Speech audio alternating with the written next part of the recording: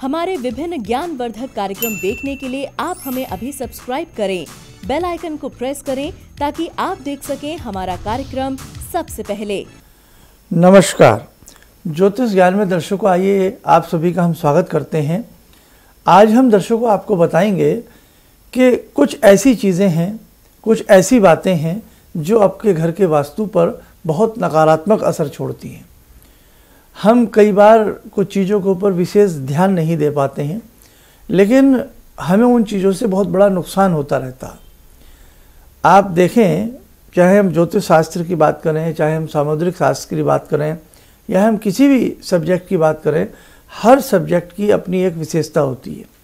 उसी में से एक सब्जेक्ट है आपका वास्तु।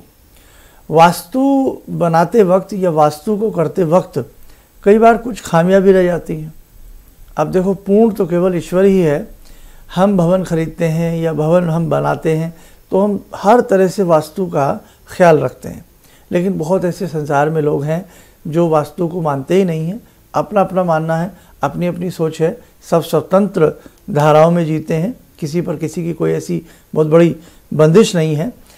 लेकिन मेरे दर्शकों, अगर जीवन को हम और सुरम्य बनाना चाहते हैं और सुंदर मीठा बनाना चाहते हैं तो कहीं ना कहीं हमारे जीवन में वास्तु का एक बहुत बड़ा इफ़ेक्ट हमारे जीवन में आता ही आता है।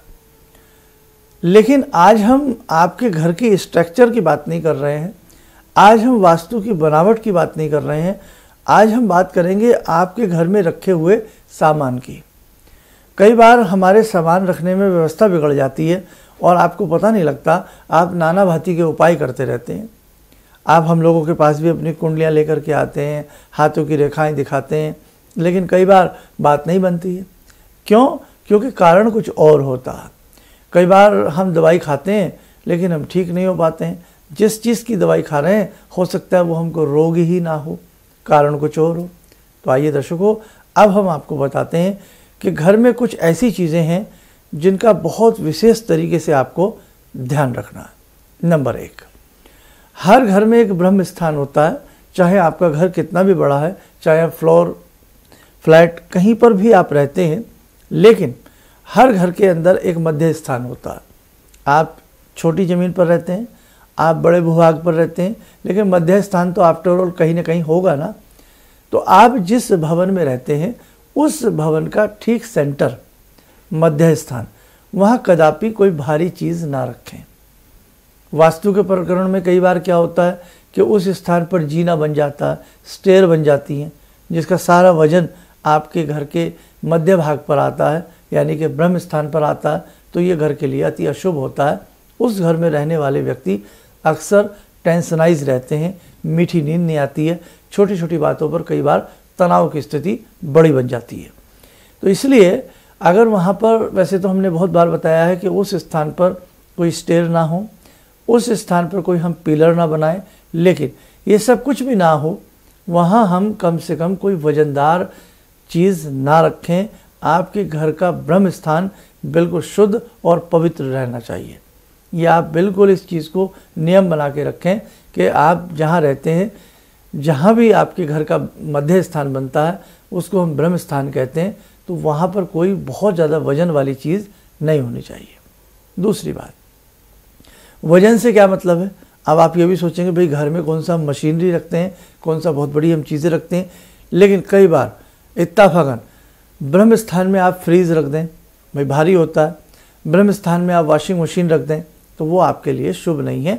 यानी कि आपके घर में जो भी चीज़ें हैं, उनमें जो कुछ चीज़ें जो भारी होती हैं, कुछ चीज़ें हल्की होती हैं तो कदापि भारी चीज़ें जो आपके घर की हैं, वो आपको ब्रह्म स्थान में नहीं रखनी है। क्लियर अब दूसरी बात करते हैं। हम सबके घर में रसोई होती है। सभी के घर में जो रसोई का प्लेटफॉर्म बनाते हैं, कोई काले पत्थर का बनाते हैं, कोई सफ़ेद पत्थर का बनाते हैं। लेकिन अब कुछ लोग ये भी कह रहे होंगे कि जो लोग रहते ही एक कमरे में तो वहाँ रसोई नहीं होती, कई बार इस प्रकार की व्यवस्था नहीं होती है तो वहाँ वो मध्य स्थान का ध्यान रखें। लेकिन अब हम बात करते हैं कि जहाँ जिनके घर में किचन बना है, और किचन में यदि आपके घर में ब्लैक पत्थर है सफ़ेद पत्थर है, कैसा भी आपने लगाया, वो तिड़का हुआ नहीं होना चाहिए। कई बार आपकी किचन का जो प्लेटफॉर्म होता है, पत्थर होता है, वो बिल्कुल बीच में से टूटा हुआ होता है, तिड़का हुआ होता है छोटे छोटे पीसीस को जोड़ करके बनाया गया, वो चीज़ अलग है। लेकिन टूटा हुआ, अगर आपकी रसोई घर का कोई भी पत्थर तिड़का हुआ है और टूटा हुआ है तो वहाँ पर भी आपकी धन संपदा के लिए ये एक अच्छा सूचना नहीं है। इससे भी आपको लॉस होता रहेगा। याद रहा आपको? मैं बड़े ही सिंपल सरल ऐसे पॉइंट बता रहा हूँ, जिनको वास्तु आपको नहीं भी आती है, लेकिन ये सब्जेक्ट ये पॉइंट आपको समझ में आ जाएँगे। और ये हमेशा के लिए होते हैं। अब आगे हम एक पॉइंट पर और बढ़ते हैं। सभी घर में सफ़ाई करने के लिए झाड़ू होती है होती है। तो मेरे दर्शकों, कभी भी झाड़ू को खड़ा नहीं रखना चाहिए, जो आपके घर की झाड़ू है। जिस झाड़ू से आप अपने घर की बुहारी करते हैं, साफ़ सफ़ाई करते हैं, आपके घर में मेड है मेड को भी हिदायत दे कि इसको खड़ा ना रखें। और इसके साथ साथ एक चीज़ का और ध्यान रखें, कभी भी आपके घर की जो झाड़ू है, उसके ऊपर कोई वजनदार चीज़ नहीं रखना। कोई भी वजनदार चीज़ रखेंगे तो आप देख लेना, कहीं ना कहीं बरकत में कमी रहेगी, कहीं ना कहीं शारीरिक कष्ट आपको रहेगा। तो घर की जो बुहारी होती है, झाड़ू होती है वो किसी भी वजनदार चीज़ के नीचे दबा करके नहीं रखना चाहिए। घर की झाड़ू के ऊपर कभी भी जूता, चप्पल नहीं रखना चाहिए। ये सब बातें आप ध्यान रखें। घर की जो बुहारी होती है, अगर अपनी पे आ जाए तो राजमहल के खजाने को भी साफ़ कर देती है। उसको भी बुहार देती है। तो इसलिए मेरे मित्रों, घर की झाड़ू को एक स्थान उपयुक्त दें और उसको ऐसे स्थान पर रखें जिसके ऊपर कोई वज़न ना आए, जिसके ऊपर जूता, चप्पल ना आए और उसको खड़े रूप में ना रखें। तो आपने एक हमको ग्यारह लौंग और बजरंग बाण की बात की थी। तो मैंने अपने पोते के लिए मतलब पोता जो है मेरा हमेशा जब भी कहीं बाहर निकलता था बहुत चुलबुल टाइप का है तो उसको हमेशा कुछ न कुछ हो रहा रात भर रोता था। लेकिन वो ग्यारह लौंग को ग्यारह बार मैंने वो किया और ग्यारह दिन तक किया और एक इक्कीस दिन। उसके बाद से अभी तक तो कभी घूमने जाता है तो उसको कुछ नहीं होता है। जिस घर के अंदर अक्सर टूटे हुआ कांच हो टूटा हुआ गिलास हो टूटे हुए क्रॉकरी के बर्तन हो तो ये भी अच्छे नहीं होते। इसमें भी अन्नपूर्णा की कमी पड़ती है। आपका कोष खाली होता है, आपके अन्नपूर्णा का भंडार कमज़ोर पड़ता है तो यहाँ इस चीज़ का भी ध्यान रखें। टूटा हुआ पात्र, चाहे वो स्टील का हो, चाहे वो कांच का हो, चाहे वो ब्रास का हो, या वो कॉपर का हो, किसी भी चीज़ का हो, टूटा हुआ पात्र भी घर में नहीं होना चाहिए।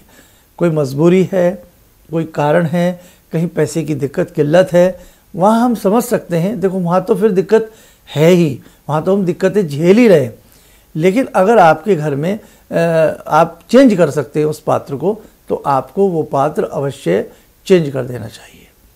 एक चीज़ और बता देते हैं, बहुत घर में बेसमेंट बने हुए हैं, है ना? नीचे तलखाना बना लेते हैं बेसमेंट बना लेते हैं।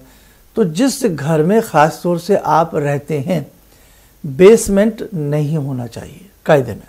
हाँ कोई आपका उद्योग है, कोई व्यापार है, कोई आपकी ऐसा कोई स्टोर है, कोई आपने शोरूम बनाना है, कुछ ऐसा बनाना है, या कोई आपने मेडिकल हॉस्पिटल बनाना है, कोई भी ऐसी चीज़ बनानी है, यानी कि किसी व्यापार के तहत यदि आप बेसमेंट बनाते हैं तो वो माना जाता है। लेकिन अगर आप घर के रहने वाली स्थिति में, जिसमें हम रहते हैं तो बेसमेंट अक्सर घर में ठीक नहीं होता। क्यों? उसमें अक्सर अंधेरा होता है और एक नीचे यानी कि कुआ, कुएँ की तरह एक ज़मीन खाली हो जाती है, उसके ऊपर हमारा रहन सहन होता है। तो ये सही नहीं होता। है कहीं ना कहीं विकास में कमी आती है। लेकिन मेरे मित्रों, कई बार ऐसा भी होता है कि बहुत लोग कहेंगे, हमारे घर में हमें ऐसी कोई समस्या नहीं आई। तो वहाँ क्या समस्या है कि जितनी तरक्की आपको मिल सकती थी, उतनी आपको नहीं मिली है। इसलिए घर में बेसमेंट ना बनाएँ, और यदि किसी वजह से बनाना पड़ता है तो नॉर्थ ईस्ट के कॉर्नर में आप बेसमेंट बनाएँ।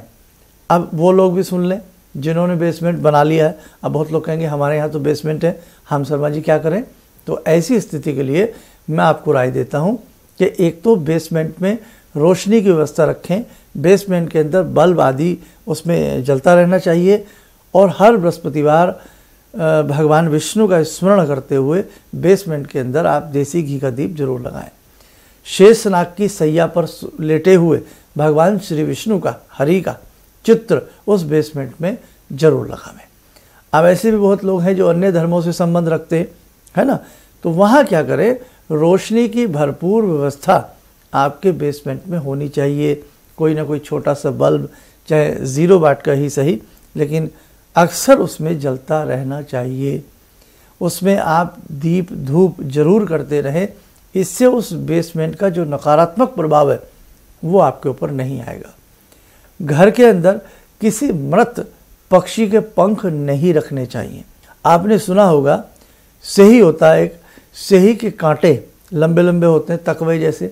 तो सही के कांटे भी नोकीले होते हैं, वो भी किसी सजावट के रूप में या किसी रूप में घर में नहीं रखने चाहिए। तो ये सब चीज़ें हैं। ख़ास तौर से इन पॉइंटों का मैंने बड़े साधारण से पॉइंट बताए हैं। इनका आप विशेष ध्यान रखें। अगर गलती से कोई चीज़ ऐसी हो जाती है, उसके लिए आप वास्तु पूजन जो होता है, वास्तु पूजन अवश्य करा लें। चाहे आपसे, चाहे स्वयं कर लें या किसी मर्मज्ञ से, विद्वान से करा लें, या उसके लिए एक काम और कर सकते हैं। उन चीज़ों की व्यवस्था को अदल बदल करें। अव्वल तो जो चीज़ें आज मैंने बताई हैं, बड़ी कॉमन है। इन पे हम सब विचार कर सकते हैं। वास्तु के तहत एक आता है दस दिशी यंत्र, जो हमारी दस दिशाओं को कंट्रोल करता है। तो हम दस दिशी यंत्र भी अपने घर के ईशान्य कोण में लगा सकते हैं। एक चीज़ और चलते चलते आपको बता दूँ, सबके घर में अलमीरा होती है। ख़ास तौर से एक स्थान हम ज़रूर ऐसा बनाते हैं, जहाँ हम कुछ अपना कैश रखते हैं या कोई अपना धन रखते हैं, जेवरात रखते हैं। तो एक गलती और ना करें। आपने अपने घर में जो भी ऐसा कोई स्थान बनाया हुआ है या आपकी कोई ऐसी अलमीरा है या लॉकर है, उसे कदापि खाली ना रखें। अब आप कहेंगे, साहब, हमारे पास कुछ है नहीं तो हम उसे खाली तो रखेंगे? नहीं। चाहे आप एक लाल कपड़े में बाँध करके पाँच बादाम, पाँच गुलाब के फूल, मैंने पहले भी बताया था एक बहुत पहले तो पाँच गुलाब के फूल, पाँच बादाम और हल्दी की चार पाँच गांठ। उसमें बाँध करके अपने लोकर गल्ला तिजोरी में रखें, बरकत होने लगेगी। घर का लोकर तिजोरी गल्ला कदापि खाली ना रखें। नहीं है, कैश नहीं है, गोल्ड नहीं है, कोई बात नहीं। लेकिन कम से कम ये सुगंधित द्रव्य वहाँ ज़रूर रखें। और मैंने एक अंक में ये भी बताया था, घर में जो आप अलमीरा रखते हैं ख़ास तौर से अपने कीमती सामान रखने की या अपना कैश आदि रखने की, उसका जो दरवाज़ा है, वो या तो उत्तर में खुले या उसका दरवाज़ा पश्चिम में खुले तो बहुत शुभ रहता। है पश्चिम या उत्तर में खुलने वाली जो अलमीरा होती है, जहाँ आप अपना कुछ ऐसा सामान रखते हैं, कीमती या ऑर्नामेंट्स ऐसी कुछ कुछ चीज़ें रखते हैं तो वो अति शुभ माना जाता। है दर्शकों, इतने पॉइंट हैं, बहुत पॉइंट हैं। ये तो मैं आपको जनरल पॉइंट बताता हूँ, जो बड़े ध्यान देने वाले पॉइंट होते हैं हर घर के वास्तु के लिए। अब वो लोग बिल्कुल मन ना महसूसें कि साहब हम तो एक कमरे कमरे में रहते हैं। आप एक में रहते हैं आप दो में भी रहेंगे आप चार में भी रहेंगे बी पॉजिटिव आप जहाँ भी रहते हैं जितनी छोटी जगह में भी रहते हैं तो हम कुछ चीज़ों का ध्यान तो रख सकते हैं। हम झाड़ू का ध्यान रख सकते हैं अल, अलमीरा का ध्यान रख सकते हैं टूटे हुए पात्रों का ध्यान रख सकते हैं टूटे हुए किसी ऐसे पत्थर कांच आदि का ध्यान रख सकते हैं। तो जितना हम ध्यान रख सकते हैं किसी भी चीज़ का हम उसका ध्यान रखने का ज़रूर प्रयास करें। तो दर्शकों, उम्मीद करता हूँ आज का ये छोटा सा वास्तु से संबंधित विशेषांक किसी न किसी को लाभान्वित ज़रूर करेगा। और एक संदेश, यदि आप अपनी जन्म पत्रिकाएँ बनवाना चाहते हैं, शुद्ध वैदिक तरीके से, या आप व्यक्तिगत तौर पर मिलना चाहते हैं, या कहीं आप दूर दराज रहते हैं, आपका दिल्ली आप आना संभव नहीं है तो ऐसी स्थिति में आप कॉल अपॉइंटमेंट ले सकते हैं। और जो भी आपकी समस्याएँ हैं, जितना हमसे प्रयास होगा उनको हम सुलझाने का प्रयास अवश्य करेंगे। इन्हीं शब्दों के साथ हम अपनी वाणी को विराम देते हैं। नमस्कार। किसी भी समस्या के समाधान के लिए मिले प्रसिद्ध हस्तरेखा एवं वास्तु विशेषज्ञ प्रोफेसर धर्मेंद्र शर्मा जी से। नोट, शिविर में भाग लेने हेतु एवं व्यक्तिगत रूप से मिलने के लिए कॉल करने का समय सुबह 10 बजे से शाम 6 बजे तक।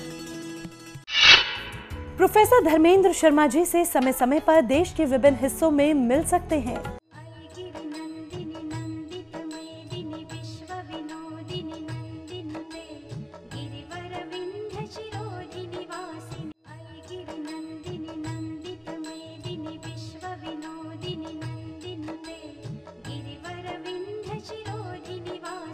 अन्य दिनों में शर्मा जी अधिकतर दिल्ली में रहते हैं। हमारे विभिन्न ज्ञान वर्धक कार्यक्रम देखने के लिए आप हमें अभी सब्सक्राइब करें। बेल आइकन को प्रेस करें ताकि आप देख सकें हमारा कार्यक्रम सबसे पहले। और अधिक जानकारी के लिए फेसबुक पेज को लाइक करना न भूलें।